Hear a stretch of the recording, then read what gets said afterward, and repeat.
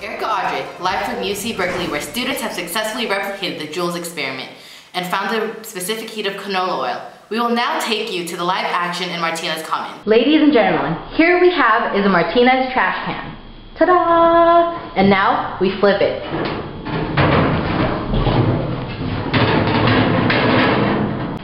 And we have a Joule contraption. Ta-da! Are rocks, courtesy of Martinez Commons as weights.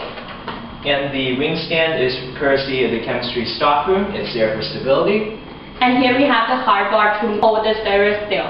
And we have the fishnet and the bullet from Target that is tied to the two sides of the trash can to move up and down with their drop or weight. And now we'll show you how it works. So our contraption is an adaptation of the Joule experiment. However, we did away with the crank. So it's a dual weight system where When one weight drops, it would wound up the other one. And conversely, it would do the same for the other one. The other one's dropped. This way, mechanical work is converted to thermal energy, thus replicating Joule's experiment.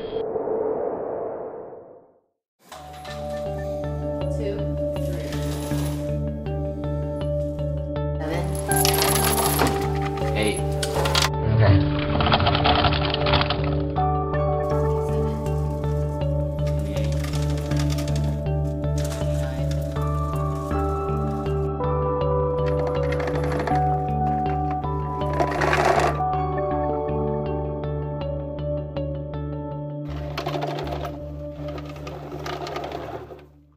And there you have it. You heard it first from Chem News.